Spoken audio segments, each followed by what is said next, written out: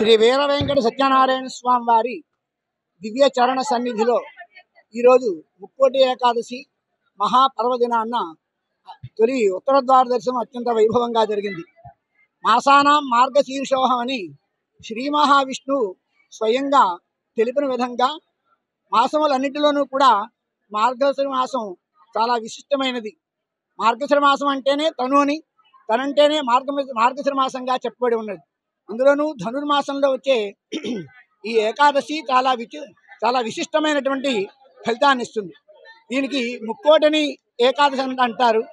దానికి కారణం ముక్కోటి ఏకాదశులు ఉపవాసం చేస్తే ఎంత ఫలితమో ముక్కోటి ఏకాదశులు శ్రీ మహావిష్ణువుని దర్శనం చేస్తే అంత ఫలితమో ఈ వేళరాజు ఈ ముక్కోటి ఏకాదశి నాడు చేస్తే అంత ఫలితం ఉంటుందని మనకి పురాణాలు చెబుతున్నాయి.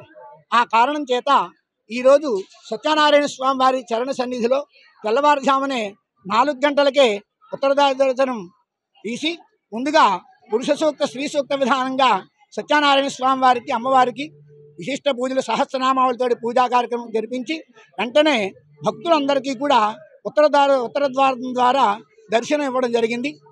ఇది శుభప్రదమైనటువంటి పరిణామం. అందరికీ సత్యనారాయణ స్వామి వారి సన్నిధిలో ఇక్కడ శివకేశవులకు అభేదమైనటువంటి క్షేత్రంగా విరాజిల్లుతున్నటువంటి అన్నవర క్షేత్రంలో చాలామంది భక్తులు వచ్చి సత్యనారాయణ స్వామి వారిని అమ్మవారిని దర్శించి పునీతులయ్యారు. జై సత్యదేవ. మరిన్ని వీడియోస్ కోసం ఛానల్ సబ్స్క్రైబ్ చేయండి. లేటెస్ట్ అప్డేట్స్ కోసం వాట్సాప్ ఛానల్ ఫాలో చేయండి. అండ్ లింక్ డిస్క్రిప్షన్లో ఉంది.